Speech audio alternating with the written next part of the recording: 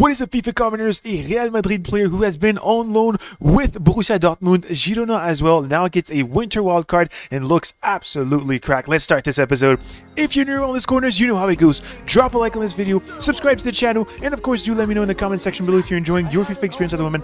Boys, today EA Sports has gone ahead and released a player that goes by the name of Reinier. Reinier, his full name is, and I will give you that right now. His full name is Reinier Jesus Carvalho. And to complete this card, let's look at really quickly what you will need to do.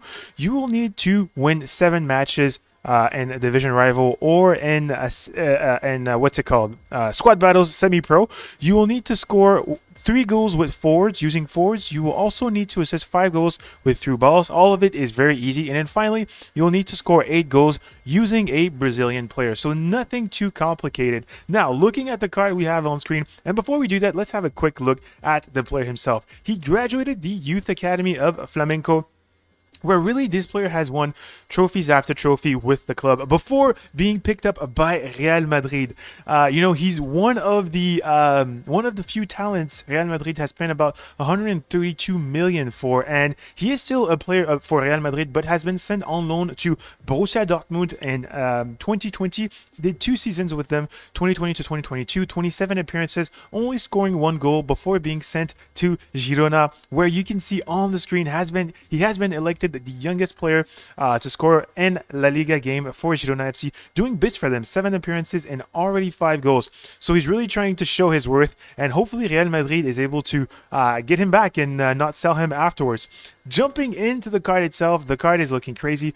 Of course, uh, Reinier gets a card every single year. This card is looking fantastic. He's six foot one, medium, medium, right-footed, four-star scale, four-star weak foot. That is very good for a striker. The four-star scale, four-star weak foot is very, very helpful. Moving on to the alternative position, he only plays as a cam. There's no other alternative positions, and that's okay. He's a uh, he's ultimately a Brazilian player uh, playing for La Liga, so there's a lot of links, and that's okay. Moving on to the player attributes absolutely cracked. 86 acceleration, 84 sprint speed. That, my friends, is looking fantastic. The pace is good. The split is good. The shooting on this card is also really good. 84 attack positioning, 85 finishing, 88 shot power. That is good. I know that it's not the craziest. It doesn't reach the 90s or anything like that, but still, it is very good for a card at this stage of the game. The passing is also excellent for what he offers, right? He's a cam. He could also play as a striker. I know it's medium, medium, but if you play stay forward, get in behind, he can definitely play as a striker, in my opinion. 81 vision combined with 89 short pass and 80 long pass. That's fantastic. He can also play on the wings. You know, he has that 77 crossing and that 90 curve, and that is fantastic. Now, moving on to our favorite website in the world, of course, let's have a quick look at his body type before we do that. He is high and average plus body type, and you can see that right there.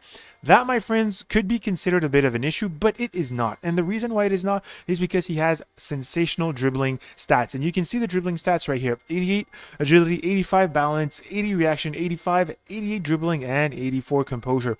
That's fantastic. Now, looking at the chem styles you can put on him, you could go with the Hunter realistically because the dribbling is good enough. Listen if your servers are in the drain if you don't have good connection you could have neymar and he won't feel great. And you know truly EA Sports is to blame for that. But looking at this you boost the pace you boost the shooting and the card looks very much cracked. The pass is decent enough the way it is the dribbling is decent enough as well. Now if you wanted to leave the pace like it is and really increase his dribbling and his shooting because he's a cam right? If you want to play him as a cam you really want a cam that can dribble very well. And because he's high in average body type, if you're going to play him as a cam, I would definitely suggest going with the finisher. Now, if you want to play him as your more forward-oriented CD uh, CM, you could go with the hunter, boost the pace, boost the passing, and boost the defending not the defending, but the dribbling itself. Coming back over here, the defending, there's nothing to mention there. The physicality is pretty good at 80 stamina, 75 strength, and that is okay. Flair, technical dribbler. Boys, this guy is very interesting. He's very interesting. Again, I was speaking to you guys about the links, and I can show you that very quickly.